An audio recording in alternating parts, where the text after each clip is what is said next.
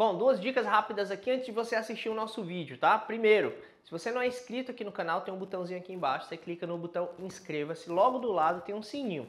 E assim você vai receber todas as notícias, todas as atualizações que eu venho fazendo aqui dentro do canal com novos conteúdos, com o programa Casa Verde Amarela, com questões de financiamento, com novidades, enfim, é uma série de conteúdos que eu tenho certeza que podem contribuir com você. E também se você não me segue no Instagram, vai aparecer aqui acima, tá? O linkzinho do meu Instagram, você pode me acompanhar por lá e dessa forma até fazer perguntas, fica até mais fácil de eu conseguir responder você, beleza? Então aproveita o conteúdo e roda a vinheta.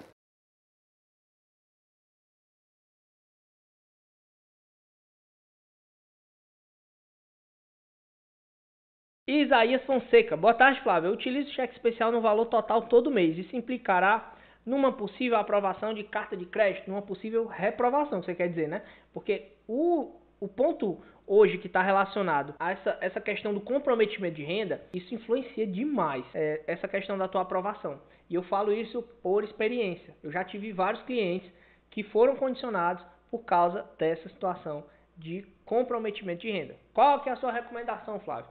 A minha recomendação é que nesse momento você cuide do seu cheque especial a ponto de você não precisar usar. Porque se você precisar usar e for tentar aprovar o crédito, pode ser que condicione, tá? E aí que tá o X da questão.